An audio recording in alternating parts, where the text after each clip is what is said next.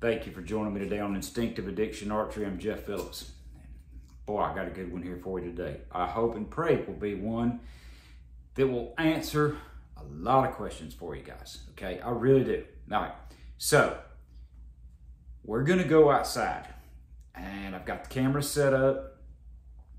Been already doing some testing, and we're gonna do a complete new one today to show you guys the traditional bow hunters what the truth is about heavy arrows versus light arrows, guys, and there is a difference, okay? Now, the last video, in case you didn't catch it, please watch that video because it is very crucial, all right? I did one called The Truth About Arrows, all right? And it was shooting arrows from 10 grains per pound out of a 43 pound recurve, which was a 430 grain arrow, 433 actually all the way to a 680. And what we found was at 30 yards, there was only a four inch drop. Okay, so you really were not giving up that much going to a heavier arrow, but some guys don't want any drop, and that's perfectly fine. However, the question was always, what is the trade-off? I mean, what is the real trade-off? Where do you draw the line on how heavy of an arrow you need to build to hunt with out of your traditional bow, guys? Okay, and all I'm trying to do is give you a 1000% honest, honest test and show you what I have found the case is. All right. So, and guys, here's the deal. I've always loved heavy arrows, but I like a fast arrow too, right? Well, there is a trade off. And hopefully, this test today will show you what the deal really is, okay? Because what we're going to be shooting in. All right. All week I tested out of half inch plywood. Now, half inch plywood is just next to impossible for a traditional bow of that poundage to shoot through, right? I mean, it really is. With a field tip. We're not doing a broadhead test today. We are doing field tip tests, okay? Because a field tip, it takes the blunt force and it is going to practically stop that arrow in motion, okay? Now, we're going to shoot these field tips through this, but what I found was after just a couple of shots, I actually was getting through that plywood. And I actually had a couple blow completely through it and never slowed down, okay? When this center area got a little bit soft because standard plywood is, is flaky, long flaky layers, okay? And it just breaks down quick. So we changed up we went back and regrouped and got heavy impregnated solid birch half inch plywood. Okay, this is a very hard laminated plywood and I don't believe we're even going to get any kind of pass through whatsoever, much less, not a pass through, but much less, uh, much of any penetration. Uh, the object is to just see if any of these arrows will actually even bust through something that hard okay, at 20 and 30 yards. I'm gonna do a 20 yard and a 30 yard. The reason I'm gonna do 20 and 30, guys, is because lots of you say, well, Jeff, I don't shoot past 20 yards. That's my limit, and I wanna know what my arrows will do. And there again, we're not broadhead testing. A super sharp broadhead on a well-placed shot on a light arrow can kill deer. Yes, it can. But what if? What if? What if you hit bone? What if you hit shoulder? Okay? So a deer scapula is going to be pretty much about like this half inch plywood. Maybe, maybe nowhere near as extreme, but let's just say it's sure not going to be harder. Uh, but if you can get through plywood, you can sure get through that, okay? So at 20 yards, that gives the shorter distance bow hunter uh, an honest representation of what he can expect on a field tipped arrow, heavy versus light. And then at 30 yards, which arrows really keep the momentum? What do you really give up? Do you give up any? I mean, really, is there any difference at all going to a heavy and slower arrow? Is there? Okay? Well, we're going to find out, guys. Let's go do it. Thank you guys for joining me today on Instinctive Addiction Archery. I'm Jeff Phillips. Okay, here we are today doing the arrow test. Okay, guys, there were so many uh, requests following up the last video on the truth about arrows. And if you didn't catch that video, please go back and watch it because you're gonna need to see it before you watch this one or at least watch it after, okay? Because it was a test of these arrows, various weighted hunting arrows for traditional bows, showing how much you give up at 30 yards. Now you may not take a 30 yard shot, and I'm not saying that, but I did the test at 30 yards to show just how much an arrow will drop at 30 yards going from a lightweight 10 grain per pound, 430 grain arrow, which is exactly 10 grains per pound out of a 43 pound bow. Okay, a bow that's drawing dead on 43 pounds. 10 grains per pound was the minimum that we started with, which was this shaft here, okay? And I've got it written on there. There's 430, it's written on there, okay? So, from it all the way to a 680 grain arrow, and I actually added a Lumenok, so we're at 690 on this one, a super heavyweight arrow. So in that test, we only had a four inch drop and that was shooting multiple rounds over and over, duplicating the shot as best as humanly possible, pretending they were the same arrows, shooting the same exact shot process, not allowing anything, guys it was a legit test, okay? I was happy with it because it did show me that yes, at 30 yards, you're gonna lose about four inches of trajectory going to a heavy arrow, which is not much. It's really not, especially if you're not planning on shooting over, say 20 yards. Doesn't matter, shoot as heavy as you want to. Speed doesn't matter with a trad bow anyway. Okay, but what does matter is today's test.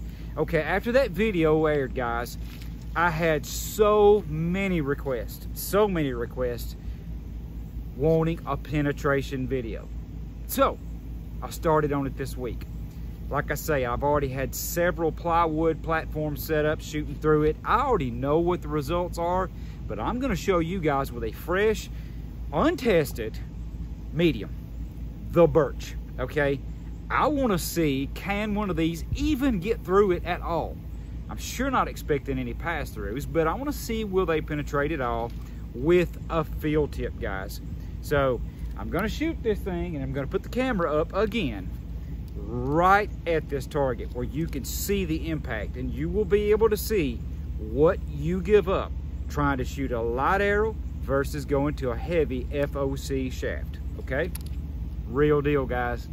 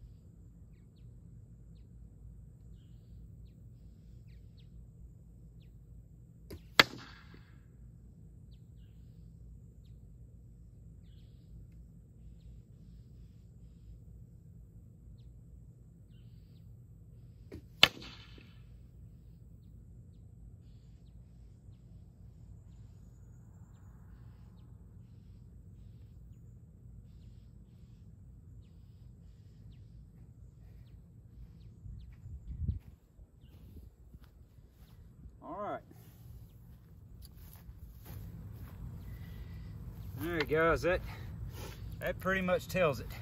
Again, these are almost identical. I mean, they, they really are 630 to 6, uh, I mean, uh, 430, 10 grains per pound, 11 grains per pound.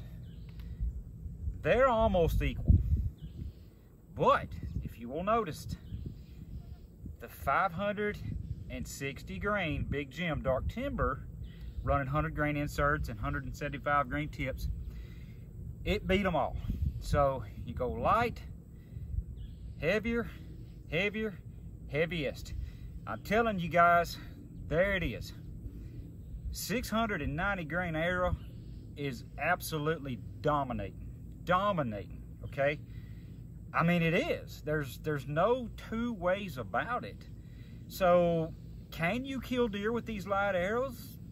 Yeah, yeah, with a good, well-placed shot, and all that and a good head, yes, yes you can. But why not have a little safety net? I mean, that's the way I look at it. Get get some safety net going on for the what if.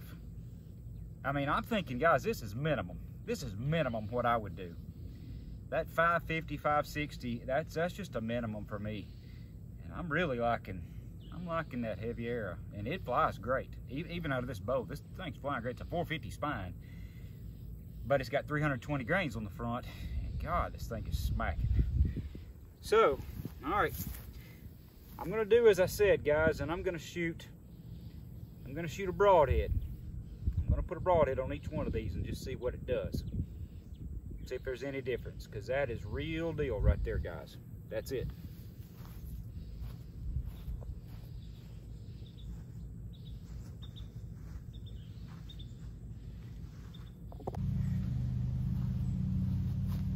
20 yard broadhead test. We're gonna see what a broadhead will do in this three quarter here. We're gonna try it and just see. See if we can even get it through this stuff. I doubt it, but we're gonna try it.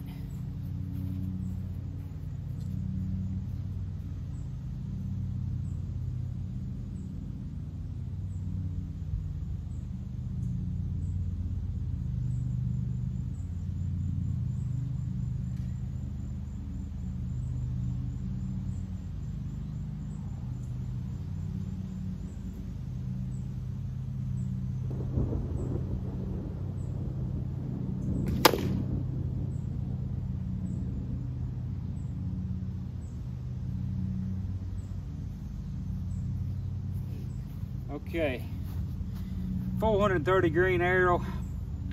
I got about maybe half the broadhead in, maybe, uh, maybe half the head, okay? All right, let's go up to the uh, 469.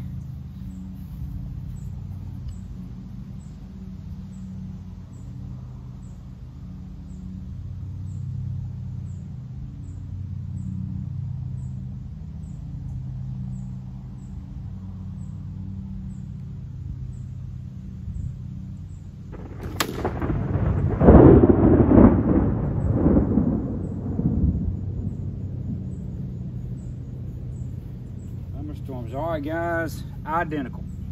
No difference. No difference in these two. These two that are under 500 grains, uh, they're just driving about half the head in. That's all they're getting. All right, let's try Big Jim's arrow. Going up nearly 100 grains. See what happens.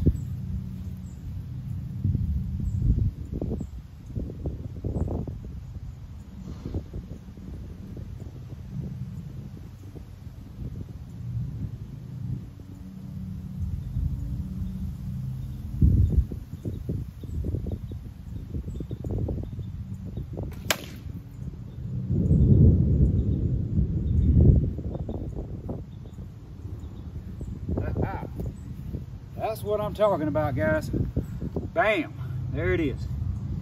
That's it. That's it. When you get over 500 grains, you start seeing some effects, okay?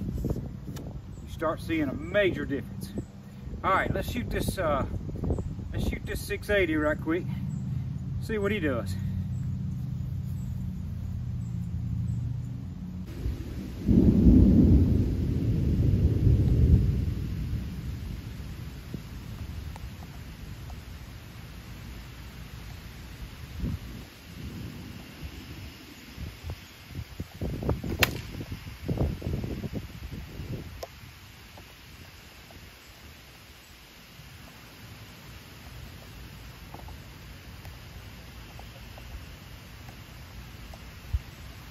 Wow. Look at this stuff, boy. That's what I'm talking about, guys. That's it. That's it. All right.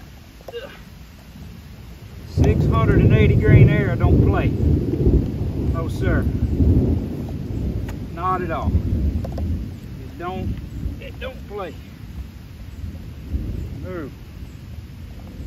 Heck no.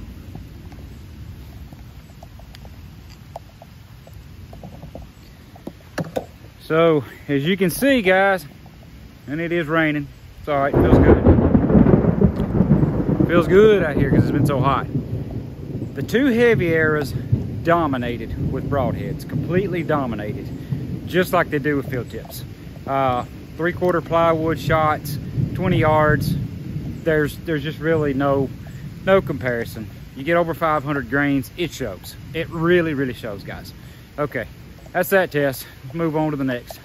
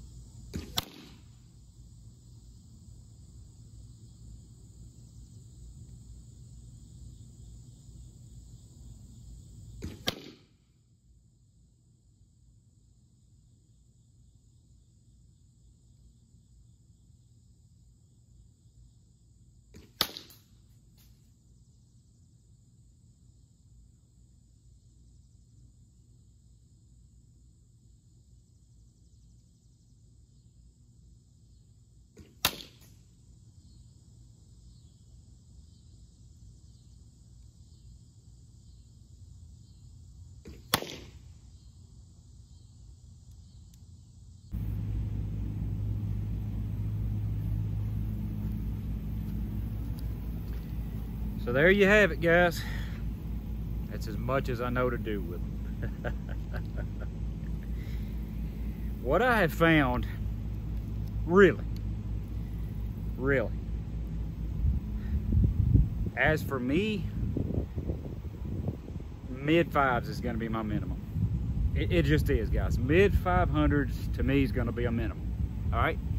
Now you can do what you want to do, of course, but what these two arrows have shown me in their performance, I'm quite impressed in such an incredibly tough medium, okay?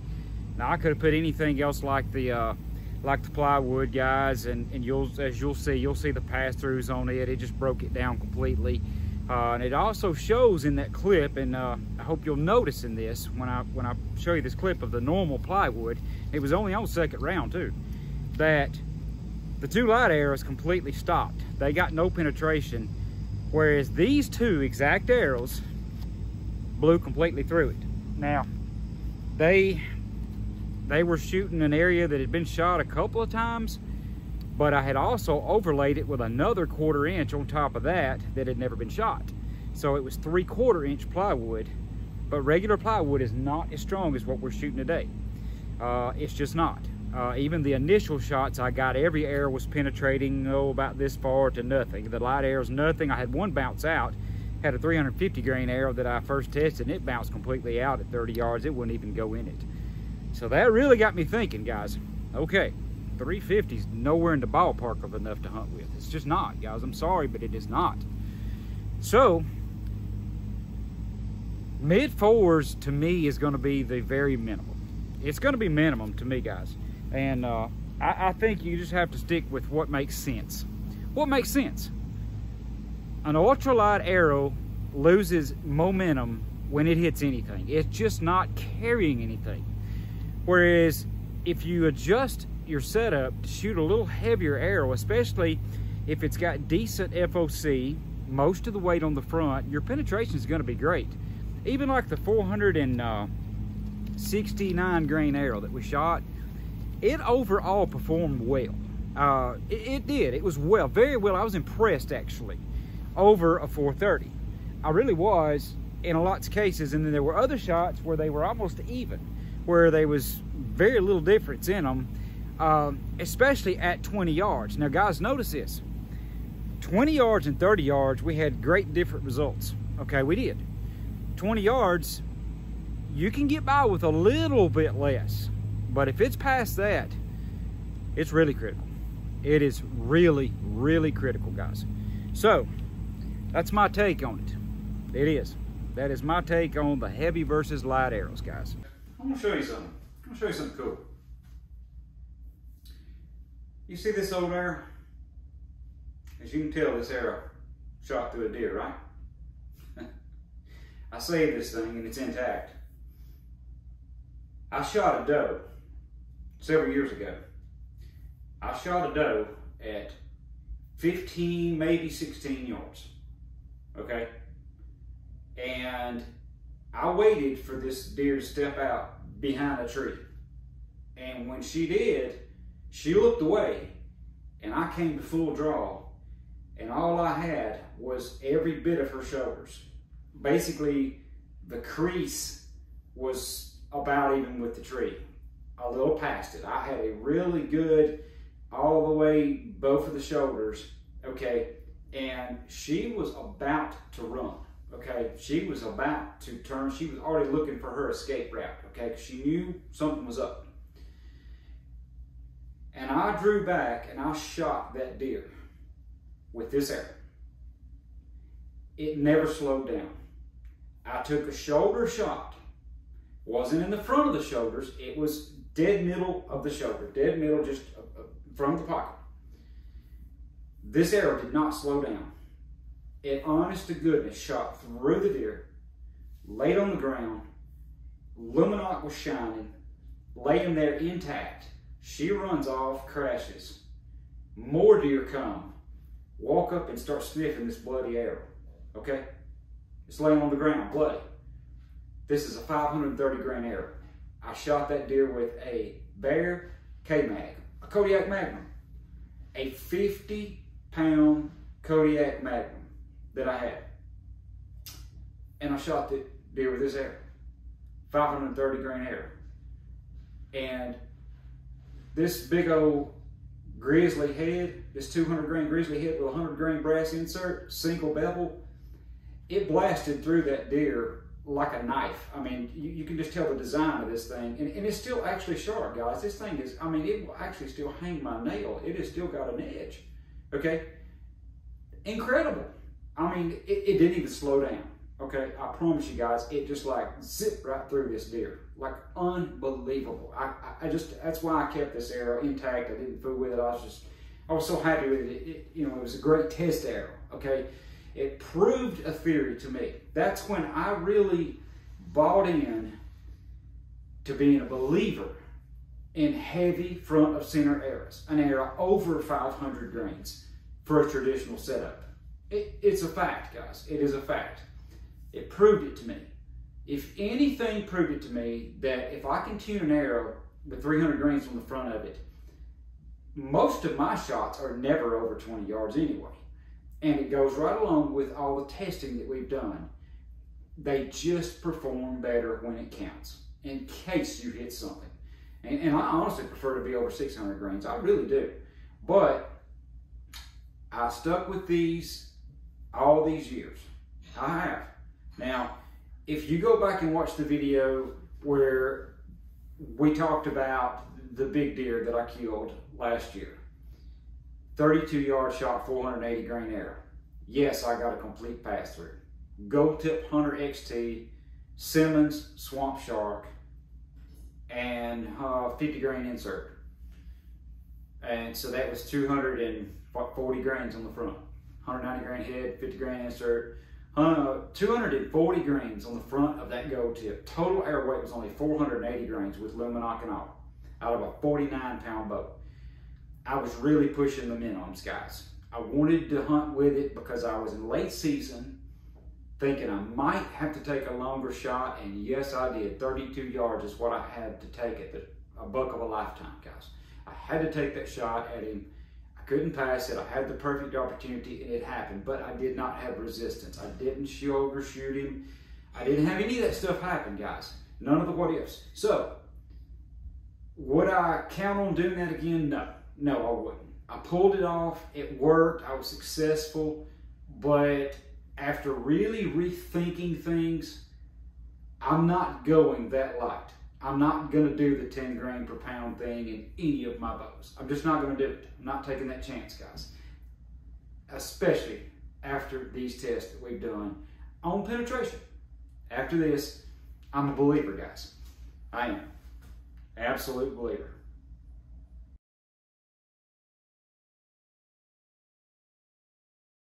I have tested this stuff. I've tried it. Um, I'm not a know-it-all, guys. I'm a tester. I'm a guy that's real life gets out there and, and sees what works and what does not work, okay? And I will tell you firsthand, guys, that over 500 grains is the way to go.